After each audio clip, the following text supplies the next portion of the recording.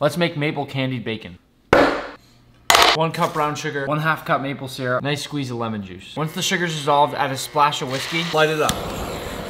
Don't be scared, just shake it till the fire's gone. Cook this off until it's about the consistency of maple syrup. Now I'll turn this into this, lay your bacon on a sheet tray, and generously paint it all over with our glaze. Bake this at 375 for about 18 to 20 minutes, or until your bacon is crispy golden brown. I'll immediately add a little maple crumble, and just a pinch of flaky salt. Be careful, this is highly addictive.